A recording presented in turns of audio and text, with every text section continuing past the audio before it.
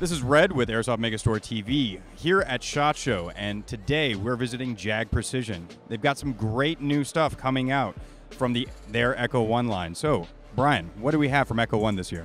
Well, we have the Echo One GAT. Uh, we've talked about it for years and years, and it's getting closer to release. It should be released this year.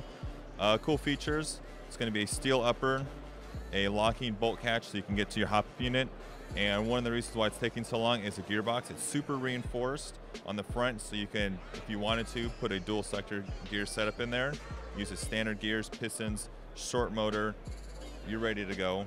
Uh, select fire, just for safety, and semi and full auto. Uh, batteries housed in the front. You can put in a buffer tube lipo or a small brick. You can remove this. A lot of people are saying, oh, I don't like that. You can remove it if you want. There's a small rail section there. You're good to go. Cool thing is a high cap, and with the LiPo, shoots around 20 a second with the 8 mil bearings. Uh, retail price will be around 160, 170, and out this year, hopefully. So cool new feature, perfect for CQB. Yeah, I know a lot of players are definitely looking forward for this gun. I know that they really like the fact that you know the whole top portion of the gun is metal, the the hop up unit, and you can actually see the reinforcements of the gearbox. That looks really sturdy, really easy to use. Looks like that's probably going to last quite a while. So, looking forward to the GAT coming out this year in 2015. I'm Red. You're watching Airsoft Megastore TV.